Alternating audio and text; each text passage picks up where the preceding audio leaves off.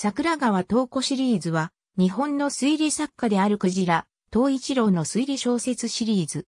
渋谷区にある日本酒、バー、森へ抜ける道で、常連の工藤と山内、そしてマスターの通称、役年トリオは未解決事件の話に花を咲かせている。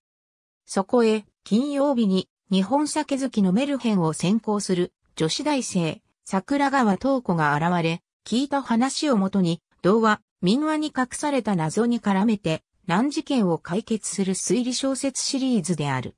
渋谷区にある日本酒、バー、森へ抜ける道。常連客である刑事の工藤と犯罪心理学者の山内、そして店のマスターの役年トリオが顔を合わせる金曜日の夜、メルヘンを先行する女子大生、桜川東子が店を訪れ、未解決事件の話を聞きながら、グリム童話の新解釈になぞらえて、容疑者の強固なアリバイを崩していく。全球は、工藤と山内、店のマスター、等の役年トリオは、私立探偵となった工藤が持ち込んだ謎が解けない殺人事件の話に花を咲かせている。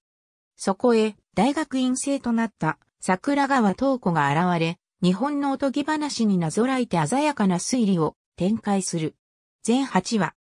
酒を楽しみながらバカ話と世間を賑わせている。未解決殺人事件の顛末を語る。役年トリオのもとへ。桜川東子が現れ、ギリシャ神話の新解釈で。数々の難事件を解き明かす。全7話。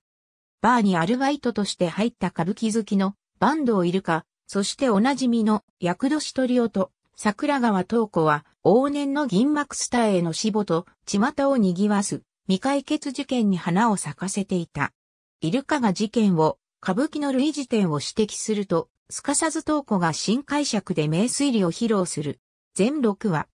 役年トリオと最近ビールに凝り始めたバンドをイルカは桜川東子を交えていつものごとく未解決事件の話題をする。イルカが歌舞伎を極めるために見るようになったオペラの演目に見立てて東子が謎を解く。前後は、宝塚歌劇の見立てで未解決事件の話題をする。全4話。ありがとうございます。